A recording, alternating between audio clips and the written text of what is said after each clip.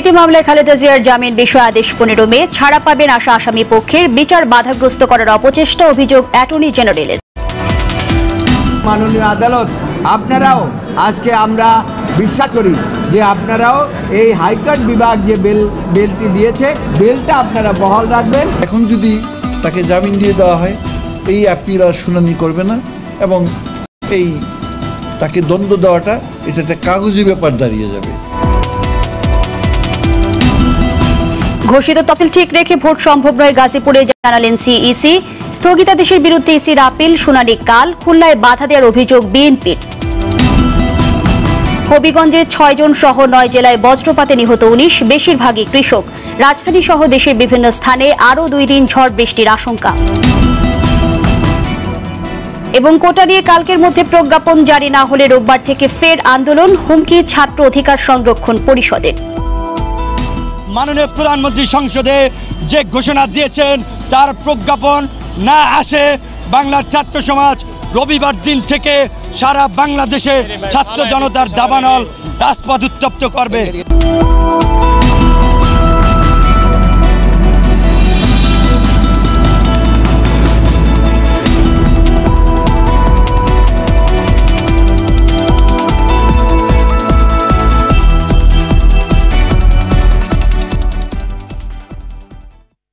আসসালামু আলাইকুম।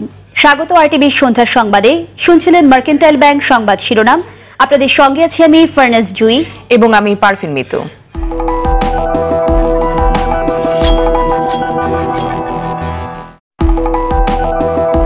সংবাদে আরও থাকছে।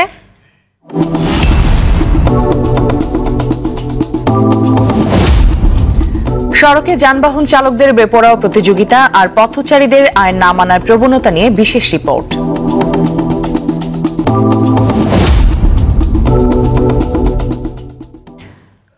অরফানেস ট্রাস্ট দুর্নীতি মামলায় বিএনপি চেয়ারপারসন খালেদা জিয়ার জামিনের প্রশ্নে শুনানি শেষ হয়েছে। দুদক, রাষ্ট্রপক্ষ ও খালেদা জিয়ার আইনজীবীদের শুনানি শেষে আগামী পনেরোই মে রায়ের দিন ঠিক করেন আদালত। আসামি পক্ষের আইনজীবীরা বলছেন, আইন ও মানবিক কারণে ছাড়া পাবেন বিএনপি চেয়ারপারসন। তবে বিষয়টিকে বিচার বাধাগ্রস্ত করার অপচেষ্টা বলে মনে করেন অ্যাটর্নি জেনারেল, জানাচ্ছেন সোহেল রানা। বুধবার সকালে পূর্ব নির্ধারিত সূচি অনুযায়ী প্রধান বিচারপতি সৈয়দ মাহমুদ হোসেনের নেতৃত্বাধীন চার সদস্যের ব্রেঞ্চে খালেদা জিয়ার আইনজীবীরা যুক্তিতর্ক তুলে ধরেন। এরপর দুদকের আইনজীবী খুরশিদ আলম খান এবং অ্যাটর্নি জেনারেল মাহবুবে আলম খালেদা জিয়ার জামিন বাতিল হওয়ার বিষয়ে যুক্তি তুলে ধরেন। খালেদা জিয়ার শারীরিক অবস্থা ভালো নয় জানিয়ে তার আইনজীবী জয়নুল আবেদিন বলেন, সব দিক বিবেচনায় খালেদা জিয়া জামিন পাওয়ার অধিকার রাখেন। আমরা মাননীয় আদালত বলছি মাননীয় আদালত আপনারাও আজকে আমরা বিশ্বাস করি যে আপনারাও এই হাইকোর্ট বিভাগ যে বেল বেলটি দিয়েছে এইটা আপনারা এন্টারটেন বা এই ব্যাপারে দেবেন না। এই বেলটা আপনারা বহাল রাখবেন। এ বিষয়ে অ্যাটর্নি জেনারেল বলেন খালেদা জিয়ার যেসব অসুস্থতার যুক্তি দেখিয়ে তার আইনজীবীরা জামিন চাইছেন সেসব সমস্যা তার আগেও ছিল। এখন যদি তাকে জামিন দিয়ে দেওয়া হয় এই আপিল আর শুনানি করবে না এবং এই তাকে দণ্ড দেওয়াটা এটাতে কাগজি ব্যাপার দাঁড়িয়ে যাবে। সুতরাং উনি যে নিরপরাধ, এটা প্রমাণ করার সুযোগ ওনার আছে। কাজেই ওনাদের আপিল শুনানির ব্যাপারে কোনো আগ্রহ নেই। ওনারা শুধু জামিন নিয়ে মানে তাদের অস্থিরতা। গেল আট ফেব্রুয়ারি জিয়া অরফানেজ ট্রাস্ট দুর্নীতি মামলায় খালেদা জিয়ার পাঁচ বছর কারাদণ্ড হয়। তারপর থেকে কারাগারে আছেন তিনি। জজ আদালতের রায়ের বিরুদ্ধে আপিল করে জামিন পেয়েছিলেন তিনি। কিন্তু আপিল বিভাগ তা স্থগিত করে দিলে খালেদার মুক্তি আটকে যায়। সোহেল রানা আরটিভি ঢাকা। একাত্তরে মানবতা বিরোধী অপরাধ মামলার এক আসামির সঙ্গে আন্তর্জাতিক অপরাধ ট্রাইব্যুনালের প্রসিকিউটর ব্যারিস্টার ডক্টর তুরিন আফরোজের গোপন বৈঠকের প্রমাণ মিললে ব্যবস্থা নেওয়া হবে। দুপুরে নিজ কার্যালয়ে কথা জানালেন অ্যাটর্নি জেনারেল। যদি সত্যি হয়, তাহলে মন্ত্রণালয় নিশ্চয়ই আমার এটা পদক্ষেপ নেবে।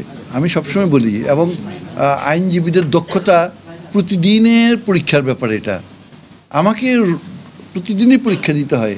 যে একটা মামলা ভালো আর্গুমেন্ট করতে পারলাম কি না আরও ভালো আর্গুমেন্ট করতে পারলাম কি না কাজেই এই যে টিম যেটা আছে, সেটা সবসময় এটা ইভলিউশন করা দরকার।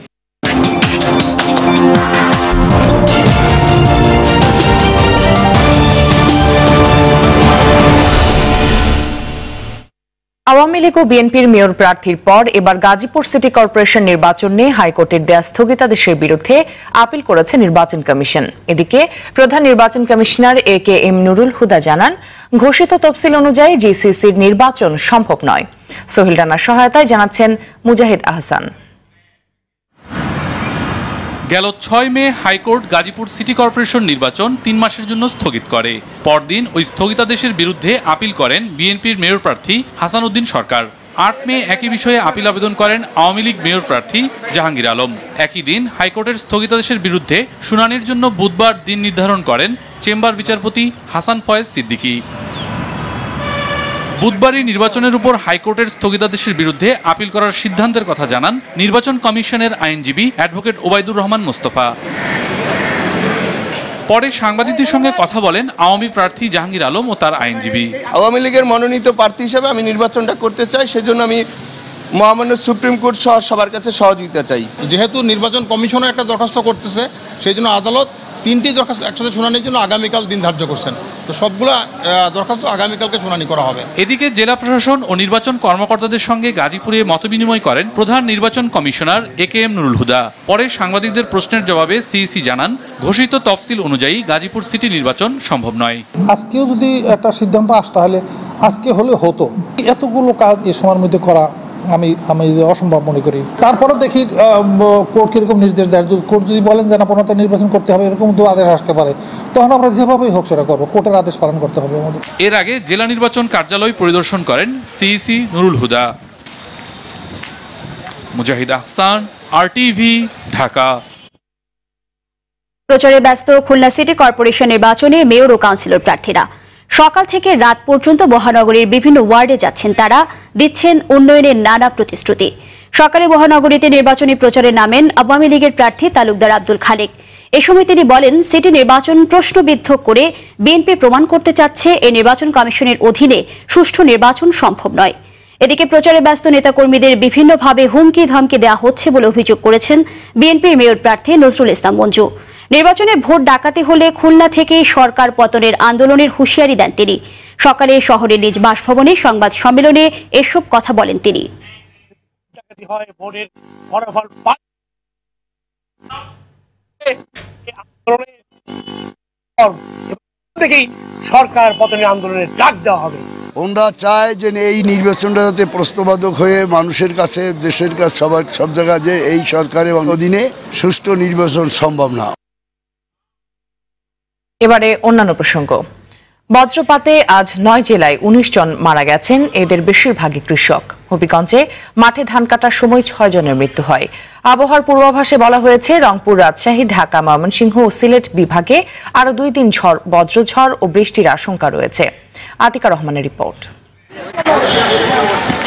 চলতি সপ্তাহে বন্যার পূর্বাভাস থাকায় হাওড় জুড়ে চলছে ধান কাটার ব্যস্ততা। হবিগঞ্জে কৃষকরাও সকাল থেকে মাঠে নামেন পাকা ধান তুলতে। এরই মধ্যে শুরু হয় বজ্রঝড় ও বৃষ্টি। বজ্রপাতে বানিয়াচং ও নবীগঞ্জে দুইজন করে এবং লাখাই ও মাধবপুরে একজন করে মোট ছয় কৃষকের মৃত্যু হয়। এ সময় আহত হন আরও ছয়জন স্থানীয়রা বলেন, গত এক দশকে হাওড়ের প্রায় সব গাছ কেটে ফেলায় বজ্রপাতের শিকার হচ্ছে মানুষ ও গবাদি পশু।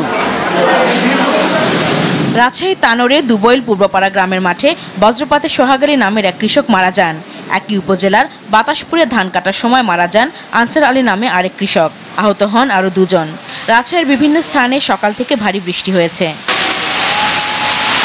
বজ্রপাতে সুনাবগঞ্জে ধর্মপাশা দুজন কৃষক মারা গেছেন। এছাড়া মানিকগঞ্জের দৌলতপুর, সিরাজগঞ্জের কাজীপুর এবং গাইবান্ধার ফুলছড়িতে বজ্রপাতে একজন করে মোট তিনজন মারা যান। বজ্রপাতের সময় সতর্ক থাকতে আবহাওয়া অধিদপ্তরের সতর্কবার্তায় বলা হচ্ছে, বজ্রপাতের সময় গাছ থেকে অন্তত চার মিটার দূরে থাকতে হবে। বজ্রঝড় শুরু হলে ফসলের মাঠে থাকা যাবে না। কালবৈশাখীর সময় নদী ও সমুদ্রে অবস্থান না করা, ঝড়, শিলাবৃষ্টি ও বজ্রপাতের সময় বৃষ্টিতে ভেজা যাবে না। বজ্রপাতের সময় বৈদ্যুতিক যন্ত্রপাতি থেকে দূরে থাকতে হবে। আবহাওয়া অধিদপ্তর জানায়, আগামী দুই দিন রংপুর, রাজশাহী, ঢাকা, ময়মনসিংহ ও সিলেট বিভাগের বিভিন্ন স্থানে ঝড়ো হাওয়া সহ বজ্রবৃষ্টি হতে পারে। আতিকা রহমান, আরটিভি, ঢাকা। আগামীকালের মধ্যে কোটা প্রথা বাতিল নিয়ে প্রধানমন্ত্রীর নির্দেশনা বাস্তবায়নের প্রজ্ঞাপন জারি না করলে রোববার থেকে আবারও রাস্তায় নামার হুঁশিয়ারি দিয়েছে সাধারণ ছাত্র অধিকার সংরক্ষণ পরিষদ। প্রজ্ঞাপন প্রকাশের দাবিতে সংগঠনটির আহ্বানে ঢাকা বিশ্ববিদ্যালয়ের রাজু ভাস্কর্যের সামনে আয়োজিত মানববন্ধন থেকে এই হুঁশিয়ারি দেন শিক্ষার্থীরা। এগারো এপ্রিল প্রধানমন্ত্রীর নির্দেশনার পর প্রায় এক মাস পার হয়ে গেলেও কোটা প্রথা বাতিল নিয়ে প্রজ্ঞাপন প্রকাশ না হয়, ক্ষোভ প্রকাশ করেন তারা। সবশেষ অস্ট্রেলিয়া সফর শেষে প্রধানমন্ত্রী দেশে ফিরলেই দ্রুততম সময়ের মধ্যে প্রজ্ঞাপন জারি করা হবে। এই আশ্বাসের পরিপ্রেক্ষিতে সাত মে পর্যন্ত কোটা বিরোধী আন্দোলন স্থগিত রাখার সিদ্ধান্ত নিয়েছিল সাধারণ ছাত্র অধিকার সংরক্ষণ পরিষদ।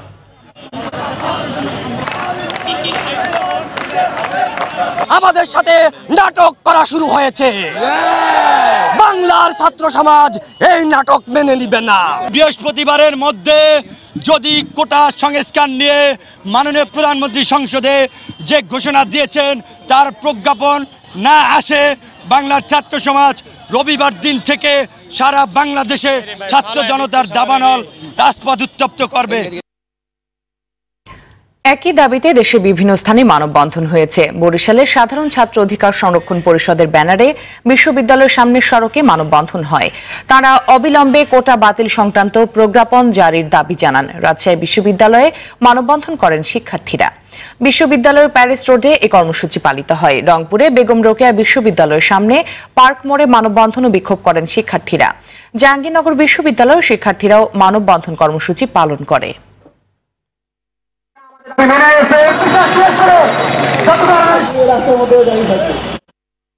অবশেষে মহাকাশে উঠতে যাচ্ছে দেশের প্রথম কৃত্রিম উপগ্রহ বঙ্গবন্ধু এক। যুক্তরাষ্ট্রের কেপ ক্যানাভেরাল থেকে এটি উৎক্ষেপণ হবে বাংলাদেশ সময় কাল দিনগত রাত দুইটা থেকে চারটার মধ্যে। প্রায় তিন হাজার কোটি টাকা ব্যয়ে নির্মিত স্যাটেলাইটটির উৎক্ষেপণ গণভবন থেকে উদ্বোধন করবেন প্রধানমন্ত্রী শেখ হাসিনা। ইতিমধ্যে তার তথ্য প্রযুক্তি উপদেষ্টা সজীব ওয়াজেদ জয়ের নেতৃত্বে মন্ত্রণালয় ও বিটিআরসির ঊর্ধ্বতন কর্মকর্তারা উপস্থিত হয়েছেন যুক্তরাষ্ট্রের ফ্লোরিডায়। এই উৎক্ষেপণের মধ্য দিয়ে বিশ্বের সাতান্নতম দেশ হিসেবে নিজেদের নাম লেখানোর পাশাপাশি মহাকাশ বিজ্ঞানে অসীম সম্ভাবনার দ্বার খুলবে বাংলাদেশের। কোনো কিছুতেই থামছে না সড়কে যানবাহনের রেশারেশি। যুগের পর যুগ এমন বিশৃঙ্খলভাবেই চলছে দেশের পরিবহন ব্যবস্থা। ঘটছে, দুর্ঘটনা বাড়ছে, মৃত্যুর মিছিল। তবুও সচেতন হয়নি চালকরা। আইন মানছেন না পথচারীরাও। বিশেষজ্ঞরা বলছেন, রাজনৈতিক সদিচ্ছা ছাড়া দেশের পরিবহন ব্যবস্থায় শৃঙ্খলা ফেরানো সম্ভব নয়। মেহেদি হাসান সুজনের তোলা ছবিতে বিস্তারিত নাজিব ফরাইজের রিপোর্টে। যানবাহনের বেপরোয়া গতি আর পাল্লার পরিণতি ভয়ঙ্কর হলেও চালকদের কাছে এ যেন এক তুচ্ছ বিষয়। আইনকে বৃদ্ধাঙ্গুল দেখিয়ে প্রতিদিন এভাবেই যানবাহন চালান তারা। এমন অসম প্রতিযোগিতা অসংখ্য রাজীব রোজিনাদের জীবন কেড়ে নিলেও একটুও বোধোধয় নেই চালকদের। ওই যায় চাপ দিয়ে আমার আইল্যান্ডের লাগা পারাইছে আমি আবার ওইটা রিটার্ন ব্যাক করে শোধমাত করে দিছি। চালকদের এমন ধৃষ্টতার শিকার হন এসব দেখার দায়িত্বে থাকা খোদ বিআরটি এর নির্বাহী ম্যাজিস্ট্রেটও। আজকে যেটি হয়েছে আমার গাড়িটাকেই সে বেপরোয়াভাবে চালিয়ে আমার গাড়িটাকে প্রায় আর একটুর জন্য আর কি দুর্ঘটনা কবলিত হতো। ঢাকার রাস্তায় যাত্রী ও পথচারীরা চলেন নিজেদের মতো বিশৃঙ্খলভাবে। ফুটোবার ব্রিজ থাকার পরও সেগুলো ব্যবহারে আগ্রহ নেই। যানবাহনের ভিড়ে এভাবে ঝুঁকিপূর্ণভাবে রাস্তা পারাপার হন। মোবাইল ফোনেও কথা বলেন অনেকে। এভাবে আসলে দুর্ঘটনার সৃষ্টি হয়? আসলে আমাদের আর একটু আপনার কথা শুনে আজকে আমি আর সচেতন হলাম। আজকে থেকে আমি আর কানে হেডফোন দিয়ে হাঁটবো না। হ্যাঁ ঘটতে পারতো দুর্ঘটনা। আচ্ছা ভাই সরি নিয়ম ভাঙার এমন অসুস্থ প্রতিযোগিতায় অসহায় ট্রাফিক পুলিশ। মানুষ যদি নিজের থেকে যদি সচেতন না হয় আসলে ইনফোর্সমেন্ট করে আপনি কতটুকু আইন আনতে পারবেন? যেখানে নাইনটি পার্সেন্ট লোক আইন অমান্য করতেছে সিগন্যাল ভায়োলেশন করতেছে বিশেষ করে ট্রাফিক আইনটা অমান্য করতেছে। গত মাসে রাজধানীতে দুই বাসের রেশারেশিতে হাত হারানো রাজীব এবং বাসের চাপায় পা হারানো রোজিনার করুণ মৃত্যুর পরও পাল্টায়নি কোনো কিছু। বাংলাদেশ প্রকৌশল বিশ্ববিদ্যালয়ের অ্যাক্সিডেন্ট রিসার্চ ইনস্টিটিউটের তথ্যে দেখা যায়, সড়ক দুর্ঘটনার তেইশ ভাগ হয় শহরে, এর বাহাত্তর ভাগই হয় ঢাকায়। হতাহতদের পঞ্চাশ ভাগই পথচারী ও বাস যাত্রী। প্রতিষ্ঠানটির গবেষণায় দেখা যায়, রাজনৈতিক সদিচ্ছার অভাবেই দেশের পরিবহন খাতে বিশৃঙ্খলা থেকে যাচ্ছে।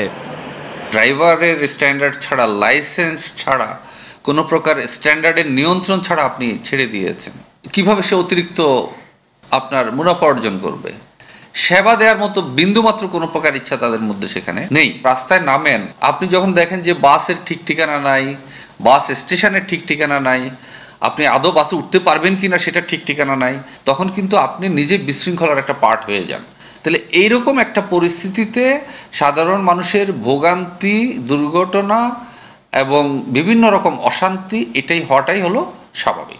এই গবেষকের মতে, বিশ্বের যে কোনো একটি নিরাপদ শহরকে মডেল হিসেবে গ্রহণ করে সেই আদলে সাজালেই শৃঙ্খলা ফিরবে ঢাকার রাস্তায়। নিরাপদ হবে পথ চলা। Najib Faraisi R TV Dhaka. বাংলাদেশে পঁয়তাল্লিশ ভাগ কর্পোরেট ট্যাক্স বিশ্বের সর্বোচ্চ। এ কথা জানিয়ে অর্থমন্ত্রী আবুল মাল আব্দুল মুহিত বলেছেন, এবারের বাজেটে এই ট্যাক্স কমানো হবে, তবে বাড়ানো হবে এর আওতা। সচিবালয় ইকোনমিক রিপোর্টার্স ফোরামের সঙ্গে প্রাক বাজেট আলোচনায় তিনি আরও জানান, চল্লিশ লাখ মানুষকে করের আওতায় আনা হবে। প্রাথমিকের মতো মাধ্যমিক শিক্ষা প্রতিষ্ঠানকেও পর্যায়ক্রমে জাতীয়করণ করা হবে। এ সময় আগামী নির্বাচনে আওয়ামী লীগের ফের ক্ষমতায় আসার সম্ভাবনা শতভাগ বলে দাবি করেন অর্থমন্ত্রী। সব বছরই বাজেটের আগে কর্পোরেট ট্যাক্সে it is certainly the highest in the world আমাদের রেট পঁয়তাল্লিশ পার্সেন্ট সেটাকে একটু নিচে নামানোর প্রচেষ্টা। The other thing is expansion of the tax net as I said চোদ্দ লাখ এখন এটা তেত্রিশ লাখে পৌঁছে গেছে। সুতরাং আমি টার্গেট ইজিলি চল্লিশ লাখ রাখতে পারছি।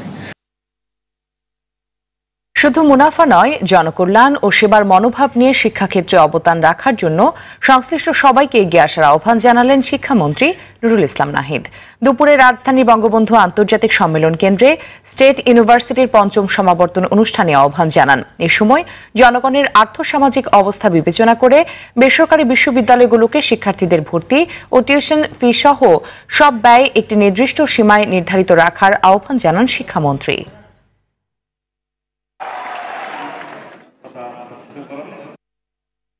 ছাত্রলীগের নতুন কমিটিতে বিতর্কিত কাউকে স্থান দেওয়া হবে না, এমনটি জানিয়েছেন সংগঠনের সভাপতি সাইফুর রহমান সোহাগ।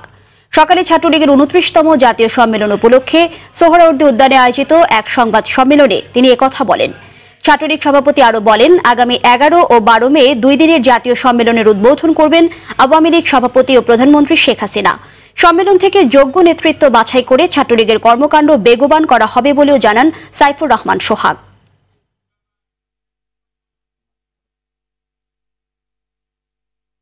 নারায়ণগঞ্জের রূপগঞ্জে র্যাবের সঙ্গে বন্দুকযুদ্ধে একজন নিহত হয়েছেন। র্যাবের দাবি, নিহত ব্যক্তি ছিনতাইকারী ছিলেন।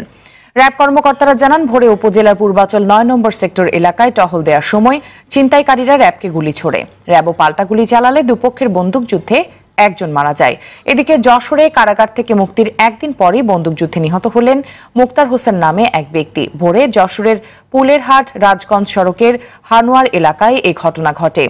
পুলিশের দাবি, দুদল ডাকাতের বন্দুকযুদ্ধে মুক্তার হোসেন নিহত হয়েছেন। এদিকে জয়পুরহাট শহরের কালী মন্দির এলাকায় তুচ্ছ ঘটনাকে কেন্দ্র করে সন্তু কুমার দাস নামে এক রিক্সা চালক খুন হয়েছেন। বাণিজ্য সংবাদ এবার। রাজধানীর বনানীতে একশোতম শাখা খুলেছে ঢাকা ব্যাংক। সকালে আনুষ্ঠানিকভাবে কেক কেটে শাখাটি উদ্বোধন করেন বাণিজ্য মন্ত্রী তোফাল আহমেদ। বনানীর এগারো নম্বর রোডের এই শাখায় গ্রাহকদের ব্যাংকিং সেবায় নতুন মাত্রা যোগ করবে এমনটা আশা করছেন ব্যাংকের চেয়ারম্যান রাশিদুর রহমান। অনুষ্ঠানে ব্যাংকের পরিচালনা পরিষদের সদস্য, ব্যবসায়ী প্রতিনিধি সহ ঊর্ধ্বতন কর্মকর্তারা উপস্থিত ছিলেন।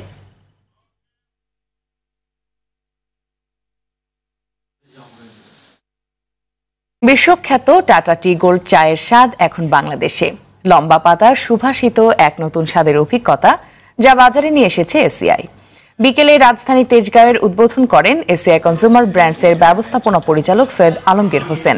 অনুষ্ঠানে টেটলি এসিআই বাংলাদেশ লিমিটেডের ব্যবস্থাপনা পরিচালক সঞ্জয় মোহতা, বিক্রয় বিভাগের মহাব্যবস্থাপক জাহিদুল আলম সহ অন্যান্য কর্মকর্তারা উপস্থিত ছিলেন।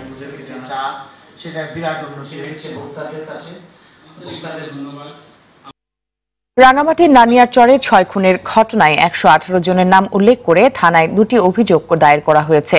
ইউপিডিএফ গণতান্ত্রিক দলের হয়ে একটি এবং জেএসএস এম এন লার্মা গ্রুপের পক্ষে আরেকটি অভিযোগ দায়ের করা হয়। নানিয়ারচর উপজেলা পরিষদের নিহত চেয়ারম্যান অ্যাডভোকেট শক্তিমান চাকমার দেহরক্ষী, রূপম চাকমা ছেচল্লিশ জন এবং ছেচল্লিশ জনের এবং ইউপিডিএফ গণতান্ত্রিক দলের কর্মী অর্চিন চাকমা বাহাত্তর জনের নাম উল্লেখ করেন তাদের অভিযোগে। যশোরের সারসা উপজেলার সাত মাইল পশুরহাট থেকে নয়টি জেব্রা উদ্ধার করেছে গোয়েন্দা পুলিশ। গেল রাতে উপজেলার বাগাচটা সাত মাইল পশুহাট এলাকায় নূর হোসেন নামের এক ব্যক্তির গরুর খাটাল থেকে পূর্ণবয়স্ক জেব্রাগুলো উদ্ধার করা হয়। ডিবি পুলিশের উপপরিদর্শক মুরাদ হোসেন জানান, সাত মাইল পশুহাটে দশটি জেব্রা বেঁধে রাখা হয়। এর মধ্যে একটি জেব্রা মারা যায়।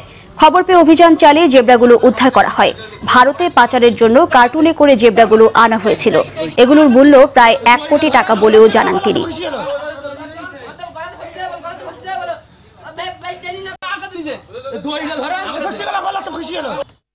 কক্সবাজারের রোহিঙ্গা ক্যাম্পে তৃতীয়বারের মতো চলছে কলেরা টিকা খাওয়ানোর কার্যক্রম। রোহিঙ্গার পাশাপাশি স্থানীয়দেরও খাওয়ানো হচ্ছে কলেরা টিকা। তবে প্রচার ও সচেতনতার অভাবে অনেক রোহিঙ্গা টিকা থেকে বঞ্চিত হওয়ার অভিযোগ উঠেছে। কক্সবাজার প্রতিনিধি সাইফুর রহিম শাহিনের তথ্য ছবিতে রাসেল আহমেদের রিপোর্ট। কক্সবাজারের উখিয়া ও টেকনাফে আশ্রয় নেওয়া রোহিঙ্গাদের স্বাস্থ্যসেবায় নানা উদ্যোগ নিয়েছে সরকার। এর অংশ হিসেবে তৃতীয়বারের মতো রোহিঙ্গাদের কলেরার টিকা খাওয়ানো হচ্ছে। আগামী রোববার পর্যন্ত এই কার্যক্রম চলবে। এ পর্বে কলেরার টিকা খাওয়ানো হবে প্রায় নয় লাখ পঁচাশি হাজার রোহিঙ্গাকে। বাংলাদেশ সরকারের ইন খাবার দেয় ওষুধ খাবার দেয় ডায়রিয়া না বলাই অনেকে একটু ভয় পাচ্ছে এই খাইতে একটু বিশ্বাস ওই জিনিসটা। কিন্তু আমরা ট্রাই করতেছি। তবে অনেক রোহিঙ্গা ও স্থানীয় জনগোষ্ঠীর টিকা বঞ্চিত হবার অভিযোগ করেন। কর্মসূচির বিষয়টি জানা জানানে অনেক এনজিও কর্মীরও।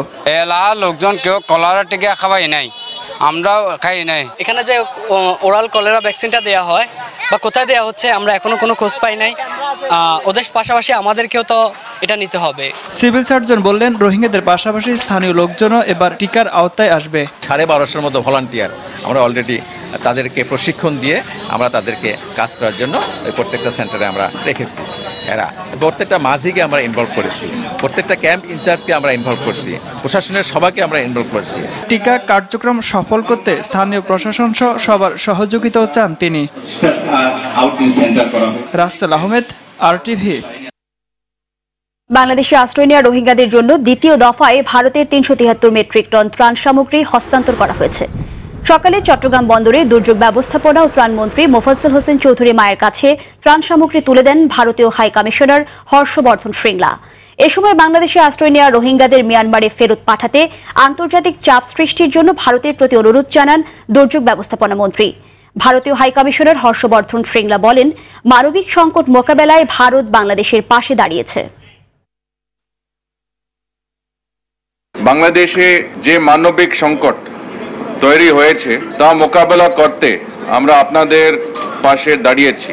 খুব তাড়াতাড়ি এক মিলিয়ন লিটার কেরোসিন তেল এবং বিশ হাজারটি রানার চুলা নিয়ে আরও একটি জাহাজ আসবে। বর্ষার শুরুতে নারী ও শিশুদের কথা ভেবে এইসব সামগ্রী পাঠানো হয়েছে। সন্ধ্যা সংবাদ শেষ করার আগে মার্কিন মার্কিনটাইল ব্যাংক শিরোনামগুলো আরও একবার।